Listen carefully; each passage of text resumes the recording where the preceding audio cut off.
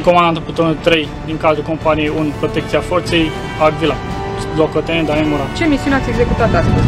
Astăzi am executat o misiune de tip Chelei în cadrul șarifii din districtul Dan. Care este obiectivul sau scopul principal al unei astfel de misiuni? Scopul acestei misiuni a fost acela de angajare a liderilor locali, malicul, precum și localnicii din sat și identificarea principalelor probleme cu care aceștia se confruntă.